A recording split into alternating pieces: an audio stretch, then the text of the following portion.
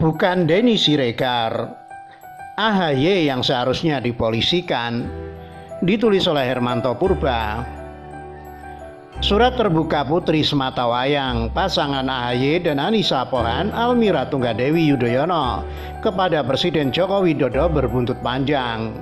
Surat berbahasa Inggris yang dipuja-puji Johnson Sitindaun, Wasekjen Demokrat itu rame dikomentari oleh warganet. Makin viral lagi setelah Anissa Pohan mendamprat Denny Siregar di Twitter. Kenapa surat Almira yang konon merupakan tugas sekolahnya itu menjadi viral? Semuanya berawal dari AHY yang mengunggah tugas putrinya itu di akun media sosialnya. Entah karena tujuan awalnya hanya sekedar memamerkan kemampuan intelektual anaknya yang berada di atas rata-rata itu atau karena tujuan lain kita tidak tahu. Tapi masalahnya berawal dari situ. AHY semestinya menyadari bahwa dengan diuploadnya surat anaknya itu di akun Instagramnya, maka surat itu akan menjadi konsumsi publik akan ada yang berkomentar positif dan akan ada pula yang berkomentar negatif. Ada yang memuji dan sebaliknya. Ada pula yang membeli penilaian miring, sesuatu hal yang sangat lumrah dalam bermedia sosial. Mungkinkah AHY tidak mengetahui konsekuensi seperti itu? AHY tidaklah orang baru dalam dunia media sosial. Ia juga bukan orang yang bodoh-bodoh amat. Bahkan menurut para kader Demokrat, ia seorang yang jenius, yang cepat tanggap dan paham terhadap permasalahan.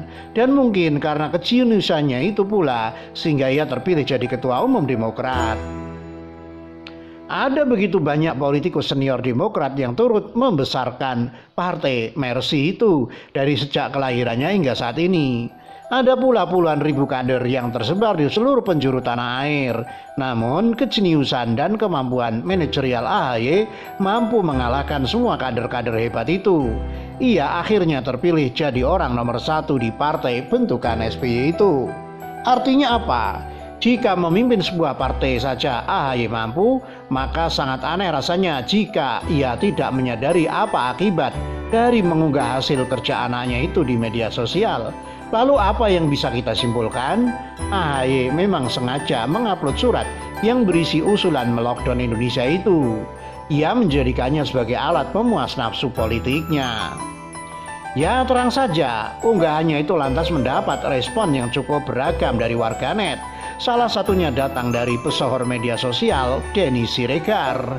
Lewat akun Twitternya, Denny mentweet Bapak udah, anak udah juga, sekarang cucu juga dikerahkan. Kalau ada cicit, cicit juga bisa ikutan minta lockdown. Yang segera ditanggapi oleh istri AY, Anissa Pohan. Putri koruptor Aulia Pohan itu marah-marah tak jelas. Ia menganggap Denny Siregar telah menjadikan putrinya Almira sebagai bahan olok-olok politik. Tidak hanya sekedar memarahi Denny, Anissa bahkan melaporkan hal tersebut kepada Presiden Jokowi. Kok mengadu ke presiden sih? Apa korelasinya sehingga hal remeh itu harus melibatkan presiden? Lucu. Apa yang salah dengan cuitan Denny Siregar itu? Bukankah publik sangat wajar menaruh curiga atas autentitas surat anak itu? Ada seorang anak SD yang masih berusia 11 tahun mampu menulis surat serapi, sebagus dan sepadat itu terlepas dari Almira sekolah di sekolah internasional, tapi bukan berarti ia lantas mampu menulis sehebat dan sepadu itu.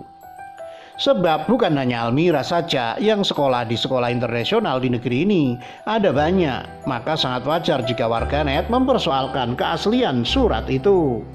Sebab diksi yang dipakai dalam surat tersebut tidak lagi diksi anak SD, tetapi seperti bahasa orang politikus. Membaca surat itu, angan saya segera tertuju pada SBY ketika ia berpidato di podium kepresidenan. Dalam beberapa kesempatan saya mendengar AHY berpidato. Ia benar-benar seperti duplikat ayahnya. SBY, baik gerak-geriknya pun cara penyampaian pidatonya. Maka kita tidak heran jika publik menuduh AHY ada di balik surat terbuka kepada presiden itu bisa jadi dikerjakan sebagian dan tidak menutup kemungkinan pula seluruh isi surat itu merupakan buah pikiran seorang AHY. Dan menurut saya hal ini sebenarnya yang ada di kepala Denny Siregar bahwa AHY telah menjadikan tugas sekolah anaknya sebagai alat untuk memuaskan nafsu politiknya. AHY telah membumbui tugas sekolah anaknya dengan politik kotornya. Almira yang masih lugu dan polos itu ia seret ke ranah politik. Kasihan Almira, masa kecil sudah dijadikan sebagai komoditas politik maka sangat tidak dapat eh, sangat tidak tepat rasanya tindakan Demokrat yang akan melaporkan Denny Siregar ke polisi. Sebab tidak ada unsur pidana dalam cuitannya tersebut. Justru AHY yang semestinya dipolisikan sebab ia telah mengeksploitasi anaknya demi kepentingan politiknya. Hanya demi menyerang Jokowi, ia telah memolitisasi tugas sekolah anaknya. Jadi kegeraman Anissa Pohan yang menyebut bahwa Denny Siregar telah menjadikan anaknya Almira sebagai bahan olok-olok politik sangat tidak beralasan. Sebaliknya malah AHY dan mungkin juga Anissa yang telah memperolok-olok anaknya yang telah menjadikan anaknya sebagai pemuas nafsu mereka tanpa memikirkan efek buruk yang akan dialami oleh Almira. Salam Indonesia 1 Ditulis oleh Hermanto Purba dilansir dari siwet.com